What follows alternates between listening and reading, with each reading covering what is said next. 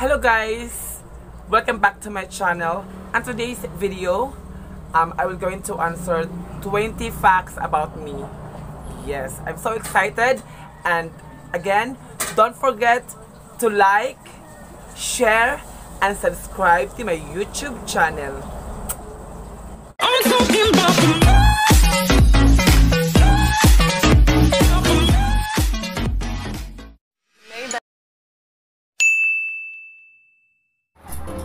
Po, mga kaibigan ko, isasalit ko po ang sarili ko na magsasalita po ng Tagalog until the end of the video.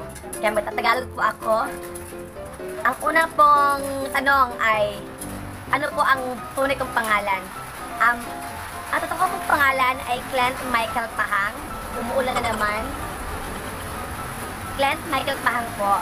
At ang palayo ko ay Kling Kling. 30 years of age.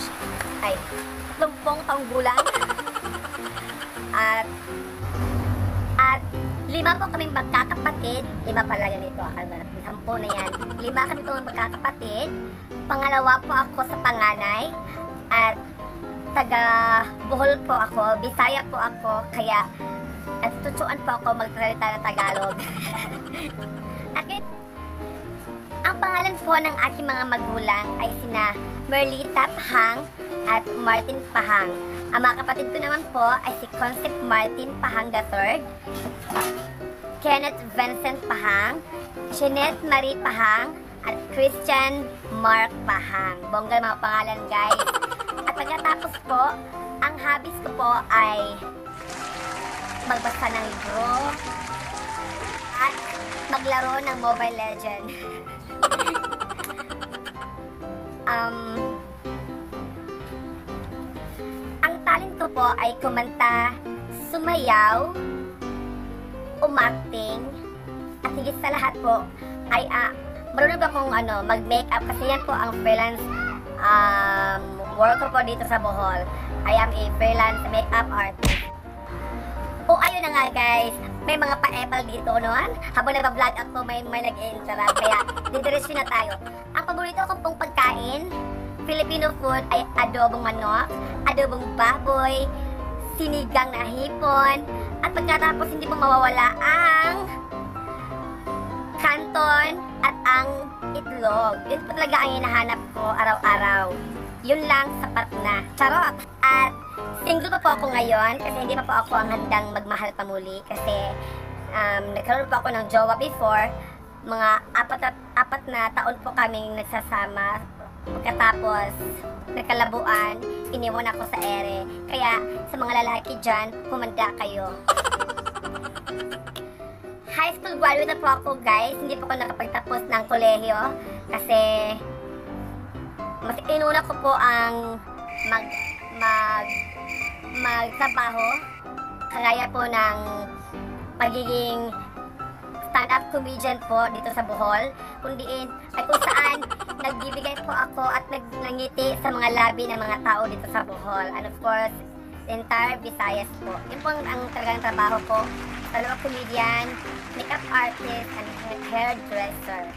Yes. At sumasali din po ako ng mga um, contest kagaya ng Got Talent, um, Miss Gay, ganon. Kasi alam niyo naman po, kapag wala akong, wala akong show, ganito talaga ang itsura ko. Pag may show ako, pag may show ako guys, isinusuot ko lang po ang mahiwaga kong wig. Ito po siya. Yes. Ganyan lang. Kanya lang po. Maganda na ba? Kaya po ako pag may show guys, nakawig lang po ako, naka-makeup, nakaayos na, perfect na um, trabaho na agad-agad. Then, isa po sa mga dahilan kung bakit ako nag-start ng gumawa ng YouTube channel ko dahil gusto ko din pong maranasan nyo at ma-explore nyo po ang aming probinsya ng Bohol. Dahil alam, po, alam ko po na marami kaming mai-offer sa inyo. Kagaya po ng mga beautiful spots, white beaches, um, mga ano, mga falls po dito, maraming marami talaga. At of course, hindi po mawawala yung mga treasure. At of course, ang chocolate heels. Tanggalin na natin kasi mukha, kong si Taro dito. ngayon po, at ang sports ko naman po ngayon ay mahilig pa akong maglalaro ng volleyball at nagbabasketball din po ako at of course nagta-taekwondo at karate do. Then, isa pa akong honor student, charot lang. At ang good influencer ko po ay walang iba si Vice Ganda po. Siya po ang nagiging idolo ko since then. Before pa ako nag nag-decide na magiging comedian din kagaya niya. At pagkatapos po, um, ang paborito ko pong kulay ay red, black, at yellow. Kaya hindi nyo, hindi nyo maisip ba- kaya naka-black ako dito. Charot lang. Ngayon po, um,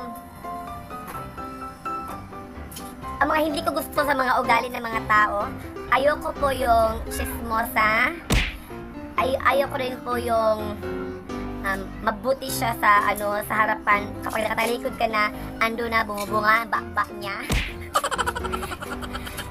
yes ang, ang, paborito kong kanta ay Araw Gabi po at Pangarap ko ang ibigin ka by Regine Velasquez yes at yun naman po sa simple pang bumumuhay po namin dito sa probinsya, masasabi ko po talaga na wala na akong iba pang hihiningin, kundi ang ang mapakain at pabigyan ko ng magandang buhay ang aking pamilya. At ngayon naman po, ko po kayo sa mga bago kong mga friends dyan na magmahalan po tayo. Let's support each other sa ating YouTube channel. Kaya po, sabay-sabay po tayong aangat at asenso. Again, don't forget to like, share, and subscribe to my YouTube channel. This is Inday Iring. And once again, hello guys! Mwah! Ay, labing walo pa pala yun. Kulang pa pala lang yung dalawa. Pang shampoo na katanungan ay ano po ang paborito ko pong movie. Ang paborito ko pong movie ay since then ay ang X-Men po. Kasi parang gusto ko talaga siya at ang ganda ng mga effects na sa movie na yan. At pang dalawang po kung tanong po ay saang bansa ko po gustong mag-travel.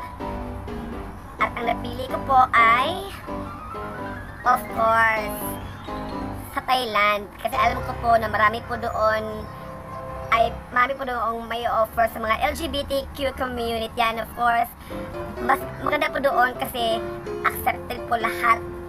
Kahit anong uri ka man ng tao, kahit pati ka man ng LGBT, fair po lahat at walang pong diskriminasyon. Thank you po.